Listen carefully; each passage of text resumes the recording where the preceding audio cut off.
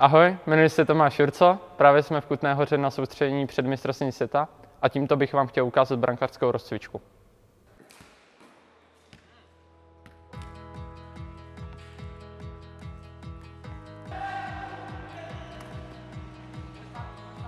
Nejdřív začínáme uh, procvičením očí, uh, kdy se snažíme zaměřovat na čísla. Máme pomůcku, takové tyčinky, kde jsou napsané čísla, na ně se zaměřujeme, procvičujeme tím periferní vidění i zaostření.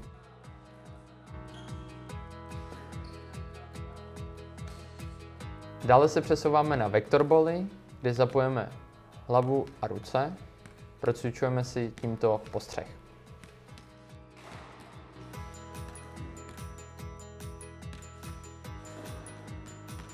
Máme tu i speciální míčky uh, s číslama. Ty míčky jsou rozděleny na půlku, jsou zeleno-žlutý. Jak chytíme míček, tak buď to odčítáme, nebo přičítáme a v hlavě si počítáme. Je to, má to zapojit mozek a zase ruce.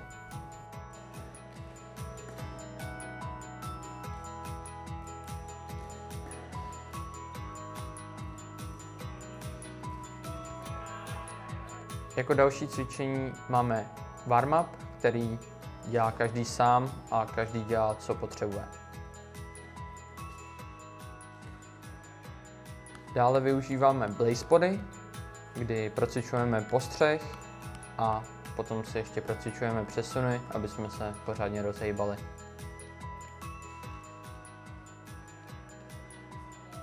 Dále se dooblekneme a přesuneme se k Tofimu, kde na nás bude střílet raketou. Raketa nám pomůže, aby jsme se zahřáli pořádně a šli rovnou do rozchytání naplno. V průběhu rakety druhý golman využívá brýle na periferní vidění a reakční míček, kdy se snaží chytat a zároveň hlavou mířit na ruce, aby to správně chytl. Tak takhle vypadá naše rozcvička a doufám, že si uvidíme v Brně.